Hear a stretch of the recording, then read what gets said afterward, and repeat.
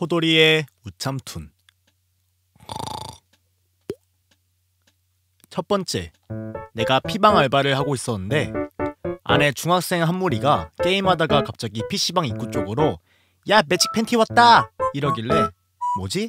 하고 보니까 친구로 보이는 애가 들어오고 있었어. 별 신경 안 쓰다가 자리 가서 로그인을 하길래 봤는데 이름이 하기수더라. 유치한데 웃는 내가 싫었어.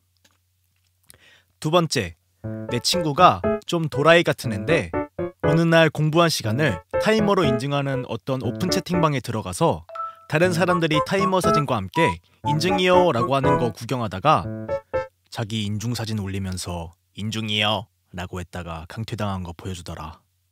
진짜 심심했나 봐. 세 번째, 고1 때 학교에서 수업을 하고 있었는데 내 옆자리에서 오목을 하던 두 명이 선생님한테 걸렸어. 근데 선생님이 앞으로 불러내서 칠판에다가 오목판을 그리시더니 둘이 붙어서 이긴 사람 한 명만 살려준다고 했어.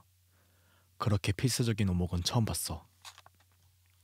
네 번째, 내 친구가 진짜 재미가 없는 앤데 갑자기 나한테 막 개웃긴 거 찾았다고 들어보라고 하길래 알겠다 하고 들어봤는데 본죽 알바는 위험 수당 필요하지 않냐? 왜? 매일 죽을 준비해야 하잖아. 친구 인 중에 딱밤 날리고 싶었는데 참았다.